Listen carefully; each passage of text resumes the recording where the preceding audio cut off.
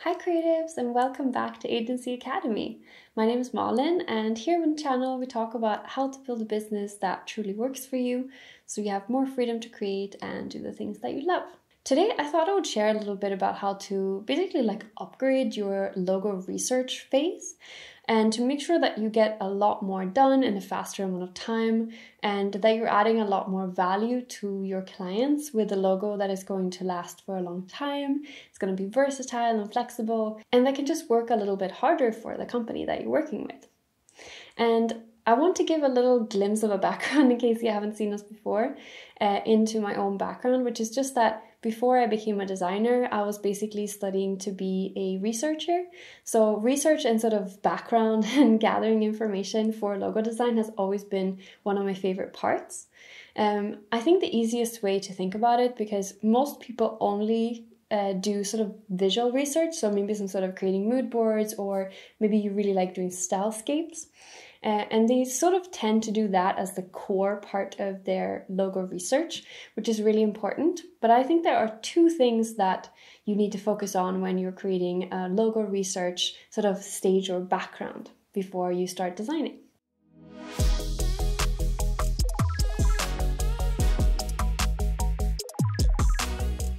The very first thing I like to do before I start any research is to talk to my clients about everything that they know and trying to verify that. So, if the client has been around, if the company's been around for a bit, they probably have a little bit of knowledge about their customers, what they like, what they don't like. And uh, even if they're completely new, they might have an idea of who they're going to be selling to and why. So I think that's really important that we include our client in this process from the beginning because they probably have a ton of information that you can use. And it'll save you a lot of time as well. What we do have to do though is make sure that this information is is accurate. So if you're asking your client different questions and you're talking about the persona and you're developing, let's say, their persona, then you can make sure to ask, oh, okay, great. So how do you know this? Are you looking at your analytics? Are you looking at, let's say, your customer base? Or is this feedback that you got when you asked people? Just making sure that it's not like a feeling, but it's a verifiable fact, basically. Then, when you're going into research, you can have this with you. So, if you know that, for example, their clients really like the customer experience, but they're feeling a little bit unsure about how the logo is used in different applications, like maybe they don't recognize them on social media as much as they do on their website, and uh, that's something that you can have a look at and see how other brands are doing it. Once you know a little bit more about what your client already knows, you want to make sure that you're starting with some how might we questions or basically setting goals for the project. What does it look like if your logo is successful? What goals are we trying to reach with this logo? And that will help you be able to look for answers of how other companies have successfully done it so that you can find ways to incorporate it in a nice way to solve their problems.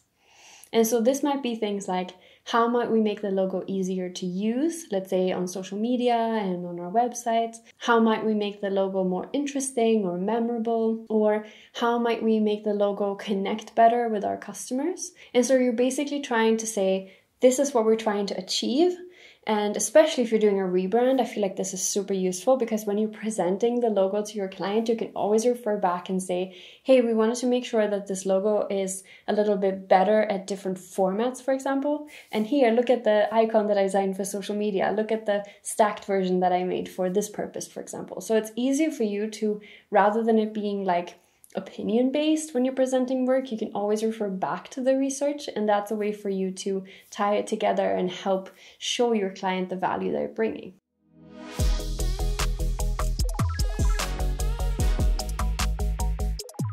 First one is the visual aspect. And so here we're basically talking about anything that is going to be related to trends, creating a mood board, looking at competitors' visuals, anything where you're trying to learn more about what the typical visual is in the industry, and also trying to understand like what the specific target audience that your customers have is going to like. So, what I like to do for this is to try to look for focused and unfocused inspiration time. So, during focused inspiration time, I like to specifically look at logo designs of competitors, logo designs of other brands that have the same target audience, maybe looking at things like Pinterest, Dribbble, uh, design inspiration, design books, all kinds of stuff. Like, I really like this series, for example, which is by Counterprint. Uh, there's called like design from and they have different areas. So like this one's from latin america. They have from all kinds of regions. And there's just always so much interesting stuff that you can pick up specifically because they are like from different regions. I think there's so much more like interesting inspiration. And it's usually very situational which i think is super helpful as well because as you're designing a logo, you want to make sure you know how it's going to work in all kinds of aspects, not just like a standalone logo. So, this is the focused research time uh, and sort of inspiration time. And so, when you're creating mood boards and stuff, you can put things that you're finding into a folder that you can save and then pick up and use later. Um, the unfocused time is basically not thinking at all about logo or sometimes even branding, but looking to other creative fields, or maybe you're watching like a movie uh, that would be really inspiring, or going to an art museum, going to read more about uh, the, maybe the customers, or let's say it's a sports brand, maybe you're watching like different sport events and trying to see kind of inspiration from the field in general. And this is mostly so that you're not being too um, structured or linear in your thinking because sometimes you know we can get very stuck on a specific track. Like um, okay i'm making a logo for a beauty brand. They typically look like this so i'm going to do something that feels similar which is good. We need to know what the industry looks like. But then we want to make sure we're not feeling too derivative of existing brands. So that's where you really want to get that like inspiration from lots of different directions so that it can all meld together in your brain and you can create that unique piece of design in the end. So that's the visual research portion. And that typically finishes in some sort of mood board or stylescape. And the difference here is mainly that mood boards tend to be a little bit more general, or I've even used mood boards for to show different aspects of a brand, like one mood board to show how color is used and applied in the brand, and one mood board to look at, let's say, different logo designs, or maybe different mood boards to show slightly different feelings or vibes of a brand. Uh, stylescapes tend to be almost like one step towards a concept. So if you're seeing one, I'll put some up on the screen. Like, for example, they might have uh, lots of things where you've altered the color tone to be uniform across the stylescape. Versus in a mood board, you might show different tech logos that are all kinds of different colors, for example. So that's like a way to differentiate between mood board and stylescape. I personally don't think that there is one better way to do it. Um, in my experience, mood boards take a little bit less time to create than stylescapes because with stylescapes you have to go in and like alter or put things on mockups and make sure that it's super consistent to give that one emotion or feeling. But at the same time, stylescapes I find are easier to use once you get to concepting stage because you have this like super sharp direction uh, for where the brand and the logo design is going. So that can also be really helpful to take into consideration.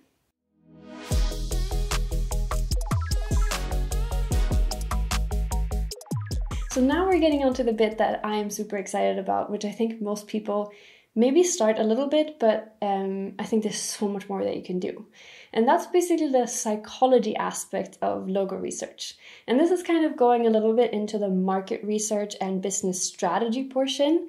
So you'll have to see how you're deciding to charge for it. Um, sometimes we have seen a lot of creatives who charge separately for this service, and some people choose to do it as part of their logo design process just because it means that the design result is going to be a lot more effective. So that's how we've decided to do it. We basically like bake it into the creative project and the brief in the beginning. And so here we want to find out everything that is going to be helpful in terms of informing the design style. So most of it is trying to define the persona first and then learning lots of things about them through different statistics, different reports, and different information about other brands. So, I'll tell you a little story that I think is going to be helpful for this kind of research and getting your head around what I mean by everything.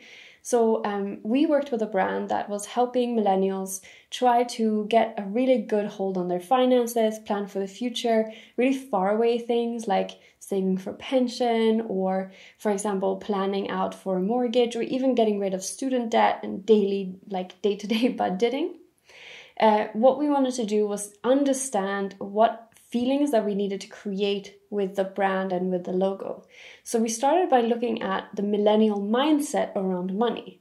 And we realized that actually a lot of millennials have a very fear based mindset around money because we've gone through a lot of these recessions and sort of catastrophes around money where a lot of our either family or people in our uh, surrounding have maybe lost their homes. Lots of people in our surrounding have really big student debts. And so there's a lot of this sort of hopelessness or fear based uh, thinking around money. Uh, but then the things that were driving people were things like hoping that they could go on a nice holiday, have a house that could be their own one day, paying off their student debt, and having that freedom that comes to it. Uh, so, what we wanted to do from this research, we were able to conclude that the brand needed to feel calm, focused on what you can achieve by having your finances together. Uh, so, rather than talking specifically about very nitty gritty things, we wanted to talk more about aspiration and positivity and uh, how it can be like self care to take care of your finances. So, that sort of started leading our research and our visual research more into self care brands and brands that millennials like already. And so when I do this, I tend to look at a couple different things. The first one I look at is statistical reports, and this sounds very intimidating, but it really doesn't have to be. So there's a ton of reports if you search for a subject like millennial attitudes to money or uh, if you search search for like beauty habits of a specific age group or something like that. There's a ton of people who have already made really really good data-based reports that have graphs and summaries lots of helpful information that you can use how like deep you decide to go into this information really depends on like the project budget how much information there is. Sometimes some topics are super easy to find lots of information and some you really have to dig a little bit more. Depends on how many other companies are already in the space um, there's usually a lot of information that is already free from the government. There's also a lot of sites like Statista where some information is free and some of it can be purchased. So they typically do like industry reports where you can learn a lot about specifically, let's say, if you're in the drinks industry or you're in the food industry or the healthcare industry. So there will be like specific reports created for certain years. So some of them do like every year they do a report about what's happening in the industry. And that can be really good to see what other brands that can be competitors, for example, have learned about the industry and are changing. Um, there's also, uh, if, let's say, if you live in the UK, there's things like Business Gateway, and they actually do a lot of free reports that you can just go to the website. I'll put a link in the in the in the description where you can go there and you can grab free industry reports. And even if you're not in the UK, sometimes you can learn things from other countries and markets as well. So it might be worth having a look at. Another thing I like to have a look at is um, looking at competitors in the space and look at rebrands that they've done recently. So let's say you're noticing that all of the brands recently have switched from a really, um, let's say, elaborate looking logo to a super simple one then they have probably done their own research and realized that this is going to work better.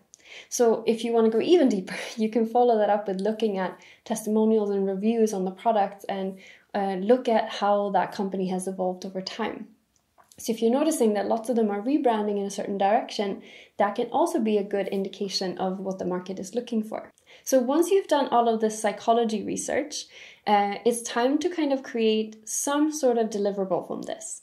And you could do it two ways, or I'm sure lots of ways, but the ways I've done it is two different ways. So, the first one is to create a much more fleshed out or detailed persona. So you can put in a lot more about the psychology that we talked about before. So let's say you know that it's really important for people to have a brand that feels inclusive or a brand that feels very calm or very exciting, or maybe you've seen that other brands are rebranding towards a more calm and simple style. All of that can go in the more detailed persona. And so that's one way to deliver this information to your client. Another way to do it is to create more of a little research report. And that's something that we always do on bigger projects. Basically, you can grab if there's a really helpful graph that you feel like, oh, this is exactly capturing that question that my client had. Then you can make sure to include that, write a little bit about how that impacts them, because we don't want to just put information, we want to make sure that we're actually tying it together with their brand and what that means for them specifically. And the research report is a great way for you, even if you're presenting the persona, to tie back to those how might we questions. We want to tie it together with what the goal of the logo is so that we're saying, hey, we looked into all of these questions that you had. We looked at your uh, different customers that you want to reach. We looked at competitors. We looked at trends. We looked at visuals. And we're now seeing how to answer these questions. And here is the answer on a platter.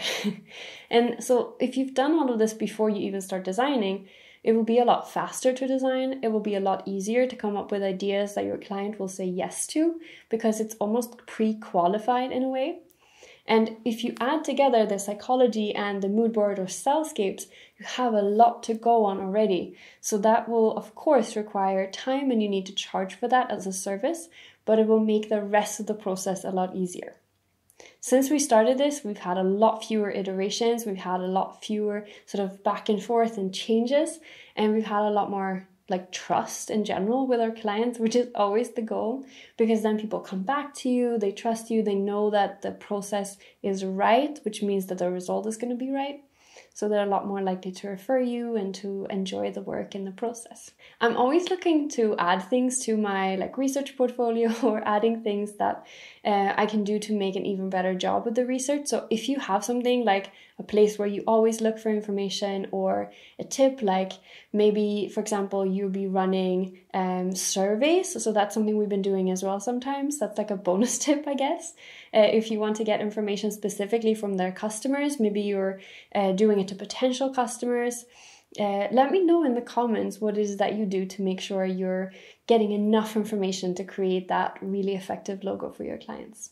I hope this was helpful. If you liked the video, make sure to uh, like it, give us a subscription, and hit that notification bell so that you get notified when we publish a new video. Thank you so much for watching, and I'll see you next time. Good luck with your projects.